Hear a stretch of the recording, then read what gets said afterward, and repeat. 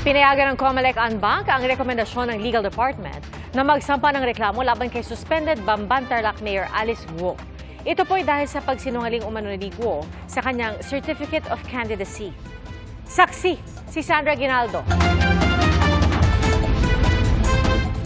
Yan po ay isang kasong kriminal na may kuno- kulong na isa hanggang anim na taon na kung sakali pong mapapatunayan na ang kaso po ay maaaring maisampa sa Regional Trial Court.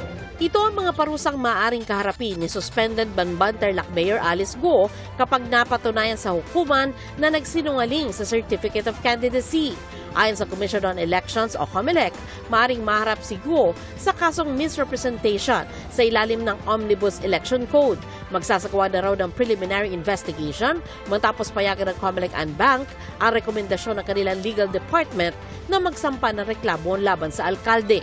Inadapt po ng uh, COMELEC Bank unanimous, ibig sabihin lahat po kami, yung recommendation ng aming law department na mag-file ng formal complaint laban kay Mayor Alice Go slash Guawaping Nagsagawa ng investigasyon ng Legal Department ng COMELEC matapos lumabas sa fingerprint analysis ng NBI na si Alice Go at ang Chinese national na si Go Huaping ay iisa.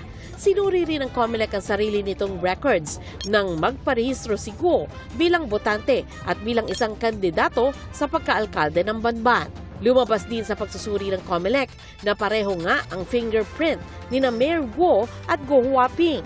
Kaugnay naman sa sinalakay na Pogo Hub sa Porac, Pampanga, isang Immigration Lookout Bulletin Order o ILBO ang inilabas laban kay dating presidential spokesperson Harry Roque at labing isang iba pa.